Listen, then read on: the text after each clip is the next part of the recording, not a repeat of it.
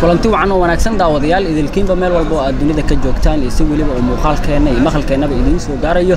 Waxaad ku soo dhowaataan waraysi kooban oo aynu la yeelanayno ibraahim mucaawiye mudde waa dhowr iyo lixdan jir maanta ka qalin jebiyey amaba ka qalin bedeshay jaamacadda cownen university gaar ahaan kuliyadda maamulka guud bal intuu waraysigan kooban soconayo waxaan wax badan ka weydiin doonaa ibraahim mucaawiye muudey bal xilligan waxa ku dheliyey asagoo daadana inuu jaamacaddu dhigto iyo dareenkiisa iyo weliba waxbarashada xilligii uu soo bilaabay haddii alla awoodala laga helo nala socda.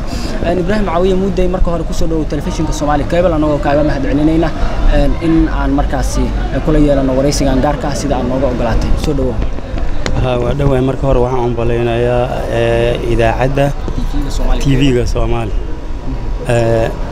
madaxdeeda iyo maamulkeeda iyo shaqaalaheeda guud ahaan. Taas waa salaantii waan u hambalaynaa kadib waxaan galayaa jawaabtii su'aasha anigu anigu da'daan jira. Marka horese waxbarashadeydii markaan ka soo bilaabay dugsi hoose dhexe ayaa waxaan ka baxay siddeetan iyo laba siddeetan iyo saddexdii dugsiga hoose dhexe ee hadda loo yaqaano hayaan. Sideed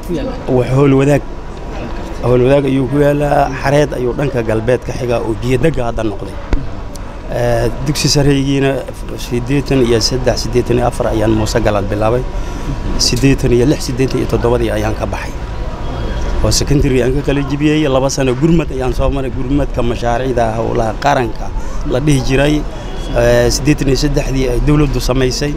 Ninkii secondary ka baxaa marka hore wuxuu ahaa national service oo one year ah marka iyo laba siddeetan saddexdii waxaa la sameeyey laba sano oo ardayga markuu ka baxo tababar military uu soo marayo ama tababar boolis uu soo marayo ama nabad sugidda uu soo marayo kadibna imtixaan jaamicaduu rabo ama macallin ama shaqo kale wixii dowladda ay siisa ayuu ka shaqaynaya waa soo maray laakiin waxaan ahay awshan aad beeshaan macnaha bukaan socod ayaan ku soo maray. Oo bukaan socodnimo ayaa liiska loo qoray labadii sano waa soo qaatay kadibna waxaan ku soo aaday guruubidii shaqada waayey. Waa iska joogay. Kadib ayaan kuliyatu siyaasa ayaan codsi u qortay. Tidii aan helay. Jaamacadda. Kuliyatu siyaasa la dhihi jiray ay geli jireen xisbiga qoladii siyaad xisbigii siyaad barre. Oo markaasi watay. Oo degmooyinka wakiilka ah qaarkood loo diri jiray marka kuliyad lagu waxbaro oo kaadir looga dhigo mabaadi'da markaas xisbiga uu aaminsanaa oo barto ayaa lagu bari jiray taas ayaan galay. Kadibna isla sannadkii waa burbur oo dawladdii burburtay. Anoo ka xun taas ayaa markii dib loo soo laabtay muddo kadib markii hadda jaamicadii macaahiddii ay shaqeeyeen oo jaamacadihii ay shaqeeyeen ayaan jaamicadan kownen tegey gruubkii ugu horreyna aan ka mid noqday aan codsaday in aan heli karo jaamicaddan markaasaa la yiri waad heli kartaa oo da' kuma xidhna nin kasta oo dhaqaale leh ee buuxin kara imaan kara waa geli karaa sidii ayaan ku galay. Anoo jaamicaddaas sidaan u barta daraaddeed bribate u aasaastay si fiiga jaamicadda aan iskaga bixiyo. Machadna waa ka shaqay jiray ilmaha ayaan ku beeli jiray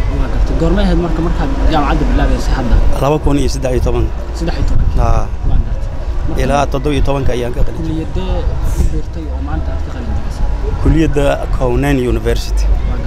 Facultyga general management. Gartay marka ka waran waddanka xilliya marxalad adag ayuu soo maray. Xilligaasi isku dayday inaad bilowdo jaamacaddii adigoo ka xun maadaama burburkii uu kugu dhacay adigoo jaamacaddii bilaabaya kadib isku dayday inaad jaamacaddii aad sii wadato ama jaamacadii aad raadiso hadda mase markii hore markii hore jaamacadu sida hadda loo heli karo looma heli karo oo jaamicaduhu waa yaraayeen xataa xilligii siyaad waa yaraayeen oo midisiin hal jaamacad keliyaa jirta gahayr lafoole oo macallimiin iyo beeraha keliya ay ka soo baxaan ayadoo saas taagan tahay ayaa gahayr la dhisay oo loo ogolaayo marka jaamacadaha laamaha cilmiga iyo geology. Anugu marka kuliyadu siyaasana waxaa la bari jiray dadka siyaasadda xisbiga markaa la bara. Marka jaamacadaha sidaas ayay u koobnaayeen. Aniga qoladii kuliyadda siyaasa ee degmooyinka ka hadli jiray ayaan ka mid ahaa. Degmada wardhiigle ayaana deganaa. Marka sidaas ayay u koobnaayeen hase ahaatee jaamacaddii dawladdiiaa burburtay. Kadib markii la soo laabtayna middaan markay jaamacadihii ay xoogaa ay bateen ayaan galay. Oo macnaha qiimo dhimis ayaana lii sameeyey sidii ayaan kus anoo macallin ah ilmana korinaya ayaan jaamacaddii bilaabay oo la ogolaaday oo la yidhi da' kuma xirna waa bara kartaa markaasaan baraabit u aasaastay si fiiga aan isaga bixiyo sidaasaan jaamacaddii ku dhammaystay bal waxaad nooga warantaa qoyskaaga dabcan inta caruurtaada ay yihiin iyo heerarka waxbarashada ay ka joogaan iyo shaqadaada waxay qoyskaada ku maaraynaysa shaqadayda xilligaas ilaa iyo hadda waxay tahay macallinnimo laba iyo toban sano ayaan macallin ahaa. Shan sano waxaan ahaa macallimiintii unisom unisom two uu sameeyey ee ardadii wax dhagxay jirtay la yidhi ha lagu xareeyo. Unisom ayaana ballanqaaday waxa macallimiintaas ay qaadanayaan. Waxaana loo bixiyey food for work cunno shaqo ku beddelasho shan sano ayaan macallinka ahaa. Iskuul anaga iyo nin saaxiibkaya aan abaabulanay oo saddex boqol iyo lixdan arday ay noo fadhiiso oo xaafad ah wakhtigooda dhammaaday. Iskuul kale oo machada ayaan tobankii ka bilaabay ceelasha. Xoogaa muddo yaraan joogay waa ka tegey islamic relief oo hay'ada ay wataan oo iskuulka teendhada qaxootiga daba jooga. Ilaa qaxootigan ay ayaa lix bilood joogay. Kadibna laba iyo tobankii muqdisho ayaa lagu soo biiray. Laba iyo tobankii bishii agost ayaan machad bilownay oo aan koox annaga oo aan abuuranay oo koow ah. Kii ayaan ilaa hadda joogaa oo la yidhahdo central africa oo xamarjiid ku yaalla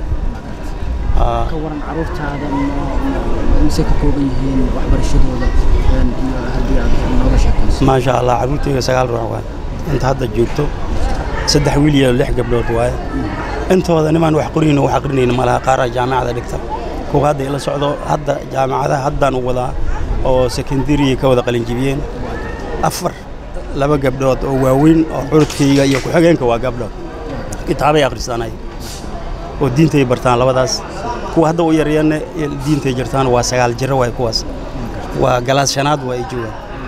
Waa laba gabdhood oo u yaryar. Wiilashana waa hal ayaa form four sanadkan galaya labada kale waa kuwa waa qalinjibiyeen gabdhahana tootali waa qalinjibiyeen labadaas oo kitaabaha barta u weyn maana inta kale waa qalinjibiyeen waa dad wax bartay. Wax bartay waay laakiin jaamacada ayaan u rabaa hadda jaamacada midaa dhigato mid wayfar dhigata hadda jaamacadda mustaqbal ay dhigataa. Gabdhaha waa lix maxaa sidaas ugu dadaashay waxaan rabaa maadaama anigu maaragtay horta waxaa la yidhaahdaa annaga waxaan dhahnaa dadkeena mar ninkii yaqaano ayuu muusaabo ka keenaa. Qofka wuxuu yaqaano ayaa ayuu ku farxaa macnaha aqoonta ayaan fahmay. Aqoonta ayaan ogaa wax walba inay fure u tahay. Furihii key of the life inay tahay furihii nolosha inay tahay marka maadaama ay gabdho u badan yihiin aniguna aan weyninka ku dhalay waxaan rabaa berri haddii nin uu guursado ninka waa ku xumaan karaa. Inaysan ugu soo noqon oo ayada hadday ay cilmi barato inay guri ijaarata ilmaheeda oo ay biilo kartaa haddii ay gurigii waalidka ay keentana waalidkii carruurteeda ayada ayaa isku biili karta. Oo marna iyada ma seeraynayso waxaan diidanaya haddii aan wax la barin waa naag la guursaday aan waxba aqoona haddii mid ay guursato ninkii ku xumaado carruurtii waalidkii u keenay ee iida soo koriyey ayaa haddana u keenay. Ileen naag yar waa guur waa u baahan tahay. Ninka kaloo guursanaya wuxuu leeyahay war anigu ilmaha ma hay kara iga dhaqaaji waxay ku qasban tahay inay waalidkii u keento. Waalidkii iida koriyey ayaa ilmihiisii korinaya soo culeys maaha. Si ay taas hadday qoran tahana waa iska dhece laakiin anigu waxaan dadaalka aan sameeyey waxa waaye inaan wax baro. Si hadhow haddii taasoo kale dhacda ay ayada iskugu kaabto.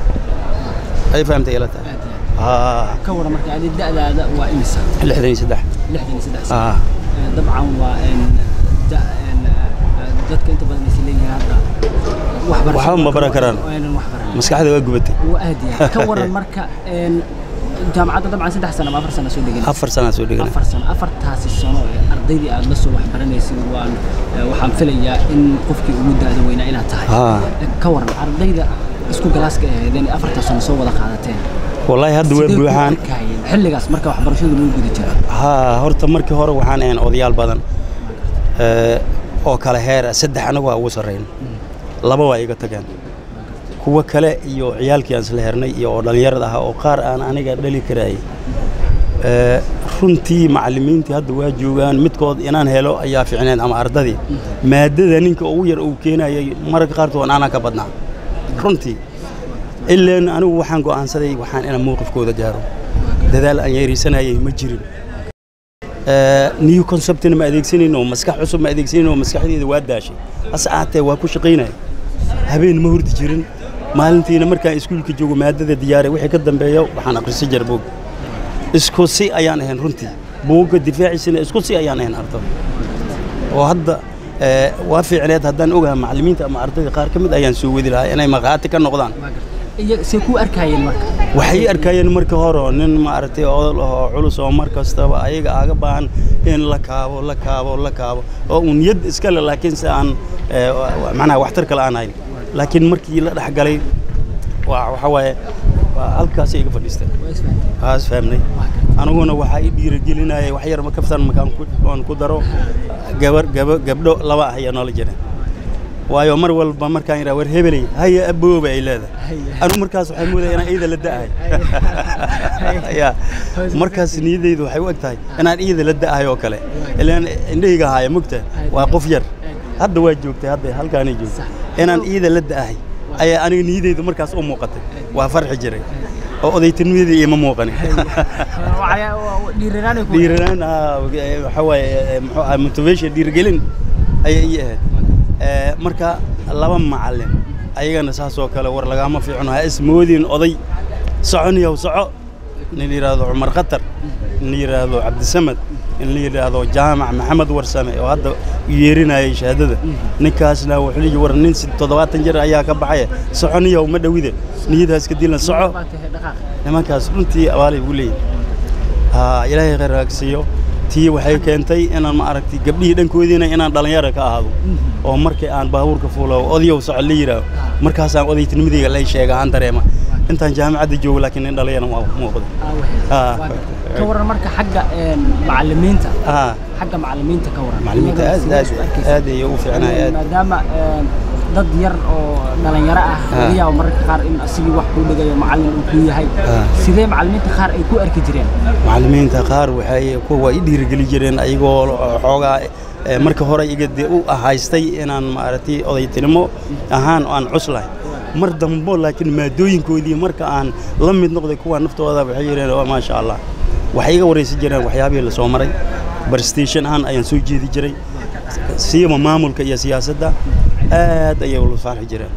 Yireen ninkan oo kale waxaan u sheegay weliba oon dhab ahayn oo hadda idin sheegaya in aniga dal- dalka ayaa waxay soo baray waxbarashadeydii ilaa secondary shilin ma bixin. Waddanka ay soo waxbaray. Anigana waxaan abaabulayay inaan wadani ahaano inaan wadani noqono. Waxaana igu dheliyey maadaama waddanka isoo waxbaray.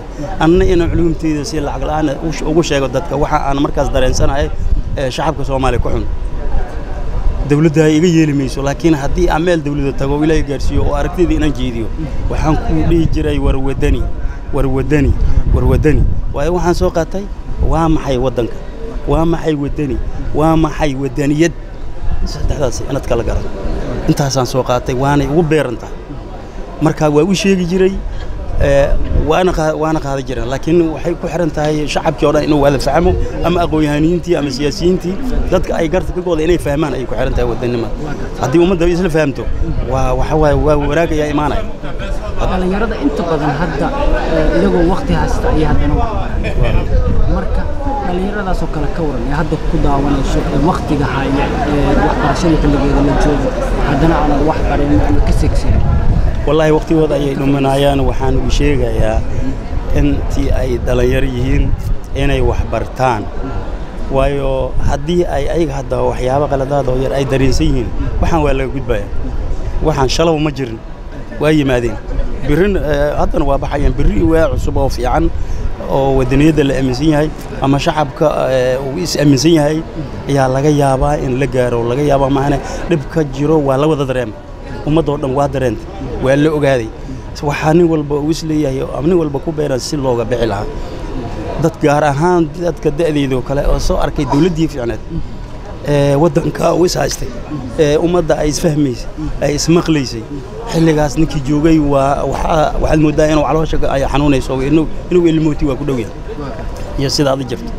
Marka abaabulka iyo waxsheegidda waa sii wadayna annagoo cilmigeena kaashanayna dhallinyarada u sheegayna waxaan leeyahay dhallinyara waxbarta intaad waqti haystaan. Anigoo hadda da'dan ayaan ka qalin jibiyey. Waxaa kadda iyo ma gelin runtii inaan jirado maane waxaa kadda wax iga hor yimid oo xaraf iyo maada midna ma jirin wax walbana waa niyad iyo kalsooni wa. Ayagii dhallinyaraa ee maskaxdeeda cusbeed waxaa laga rabay inay nagu hor ordaan oo annaga aan wax weydiino weliba. Marka hadda waxaan leeyahay orda oo ficiina ragga waxaa layidhi waa lagu horumaraa looguma dabamaro marka inta ay dhalinyar yihiin dhallinyarada inay wax bartaan si ay mustaqbalkooda u dhisaan waddankana wuxuu ka rabaa badbaado. Wuxuu ka rabaa aqoon-yahanintii biri inay noqdaan. Wuxuu ka rabaa hogaamiyaashii biri inay noqdaan haddii ayaga ay seexdaan ama ay reer raacaan waxaa soo bixi doona mustaqbalka. Kuwoodoo kale waddankana sidiisa aanu ahaanaya weligiis qabiila hogaaminaya maanan ka baxaya ka waran marka maadaama hadda aad ku guulaysatay waxbarashada heerka koowaad ee jaamacadda inaad dhammayso oo shahaadadayga qaadatay marka ma hawshii iyo dadaalkii waxbarashadii ma halkaas bay ku eg tahay mise waa sii wada doontaa iyo master degree maya aniga koorsooyin gaagaaban ayaan raadsanayaa waayo ilmahaas ayaa maanta oo da'dii waxbarasho. Oo saddex sekondari ka qalin jibisay ayaa guyo joogta afaray ku qalin jibiyeen midaa jaamacad dhigato. Saddexda kale ayaa jaamacadda rabo marka dadkan waa dad dhallinyar hadda haddii ay jaamacaddii bartaan haddii ilaahay cumri siiyo waa da ay ku shaqaysan karaan ayay joogaan. Laakiin ana bensionaata iga dhow maanta. Siyaasad maahane haddii shaqooyin kale aan galo oo beeshan waaye. Anugu marka inaan wax sii barto waxba tari mayso. Dawladduna ma laha sida waddamada qaarkood oo aqoon-yahanada ama siyaasiyiinta waayo aragga in la ururiyo oo ay dhallinyaradu wax u sheegaan oo ay abaabulaan oo ay fikradoodii waayo-arnimadii ee cilmiyeysnaa ee soo shaqaysay ee baraatikada lahayd u sheegaan dawladdu ma laha. Ninkii beesha noqda gurigiisaa yaqaano bas marka cilmigii aan sii bari lahaa wakti dheer uma hayo. Haddii ilaahay naf iga yeela xataa anaa beeshina waa kuwa marka ubadka aniga aan dhalay waa inaan baxbara taas ayaa karis laakiin koorsooyin gaagaban oo ku shaqaystaa waa ma hurahayn kuwaas waa waa waa ku tala jira. Ugu dambeyntii afar sano kadib maanta shahaadadaadi bachelor fire sax waa. Maxaa is leedahay noloshaada iyo tan qoyskaada way ka bedeli kartaa? Noloshaada? Iyo tan qoyskaada way ka bedeli kartaa? Waa si wax weyn. Wax weyn inta waa hal semester markaan dhameeyey oo aan fahmay ayaan bilaabay inaan qoyskayga wax ka bedelo markaan kalena waaba ka sii darneed wax weynaan bedelay haddana waxa waaye waa ku sii tala jiraa in maaragtay aan qoyska uu dareemo. Isbeddel xilligii aan bilaabay jaamacadda ilaa hadda aan dhameeyey noloshaana waxay tahay iyo hadba heerka isu sii beddelaysay inay dareemaan oo ayaga naftooda ay sii qabatimaan waa waa waa qorshayga waaya qorshayga waaya sidaas ugu dambeyntii dhalinyarada iyo dadka da'daada ah ama kugu soo dhowdhow laga yaabo in xilligaaga iyagana secondary sidaasoo kale ugu dambaysay maxaad dhihi lahayd oo aad ugu faa'iidaysan lahayd? Horta dhallinyarada waa waajib inay wax bartaan. Waayo mustaqbalkoodii ma dhisna. Waalida cimrigiisa ku dhammeeyey oo dhaqaale ku dhammeeyey waalidkaas markuu gaboobo geedkii ay hirgeli lahaayeen waxaa wiilka uu dhalay ama gabadha uu dhalay oo dhallinyaro ah si ay awood uga helaan waalidkaas xanaanadiisa iyo mustaqbalkooda waa inay wax bartaan. Way fahamtay ila tahay ayagana waxaa wax ka raba ilmaha ay dhaleen ama qoyska ay guursanayaan maarayntiisa ayaa wax ka raba. Sidaa darteed haddii hay hadda isdhisin gaariley noqonayaan gaariley ama dushow ka dhiidaa. Waxaa layidhi ninka nina maskaxduu ka dhiidaa nina dushow ka dhiidaa. Ninka aqoonta le maskaxduu ka dhiidaa. Fikirka iyo dhuuxidda daraasaadka. Xamaalaaka dushow ka dhiidaa haddii ay wax bara waayaan dushay ka dhiidayaan waxaana u sheegayaa waa idin cid kasta oo maqasha hadalkayga oo dhallinyaro ah. War niyad bixi oo waxbaro. Caalamka maadda aan la bara karin ma jirto. Waxa culuum eh ama tiknoloji eh ee adduunyada ay ku horumartay waa la bartay. Dadaal la sameeyey waa. Adoo kale bini aadanaa bartay haddii ay dan ku xirxirtay oo dhaqaalo ma jirto waa goyni waa sababo waxbarashadii yarayn karta ama gaabin karta. Haddii laakiin cidda ay isbixi karto dhaqaalo heer dhexaad iyo heer sare yahay war waxa waaye mobaylkan yow ku indhasaabin iyo qadka waxbaranayaw gabaryaadna waxbaro adoo mas'uul laga yahay oo lagu guursanaya ayaa haddana kaalintaadii gabarnimo inaad soo bixiso la rabaa oo ma hooyaad noqonaysaa ubadkana waxbaris iyo wax fahamsiis. Waxaa ku fiican ragga iyo haween. Haweenka ayaa ku fiican. Si ubadkaada barbaaradiisii aad u wanaajiso adigana kaalintaada aad u buuxiso kaalintii waalidkaaga lahaan u buuxiso waxbaro gabar yahay. Wiilyaw adigana mas'uulnimo ayaa kaa dambaysa oo qoyseed iyo mid shaqo. Waxaadna noqon kartaa mas'uul buuxa oo kaamil oo dhammaystiran markaad wax barato. Kuwa ila da'a maskax gubata ma jirto waa been maskax lixdan iyo saddex jiraan ah maskaxdeeda ma guban. Sida aad arkaysaan nima dhallinyaraan wax la soo bartay kamana liidan. Hadday lixdan sano ama konton sano ama ka ban hadday maskax gubayso heerkaan soo ma gaarin. Marka waxaan sheegaa maskax gubata ma jirtee niyadaas ka jibinna. Qofkii jaanis u heli kara ama dhaqaalo waxa bartaan leeyahay. Dhaqaalo waa tahay daawadayaal intaasi ayaan jecelahay inaan ku soo gabagabeeyo waraysigii koobnaa ayaan la yeelanaynay ibraahim mucaawiya muudey oo ah aabba dhowr iyo lixdan jir islamarkaasina waxbarashada heerka koowaad ee jaamacadda hadda dhammeeyey waan filayaa intii waraysiga socday inaad wax badan oo ku saabsan xagga waxbarashada iyo da'da waxbarashada oo dadku qaar ay isleeyihiin dadku waaweyn waxbarashadii way dhaafeen. In markaasi meesha ay ka baxayso intaas ayaa ku soo gabagabaynaya intuu waraysigu soconaya xagga kaamirada saaxiibkay ismaaciil olrayd ayuu ahaa. Tan intaan ku kulmi doono waraysi noocan oo kale waa cabdiqaadir umar cabdulla idinka tagay. Waa ku mahadsantihin daawashadiina habboon ee sidaas iyo nabadgelyo. Wasalaamu calaykum waraxmatullaahi wabarakaatu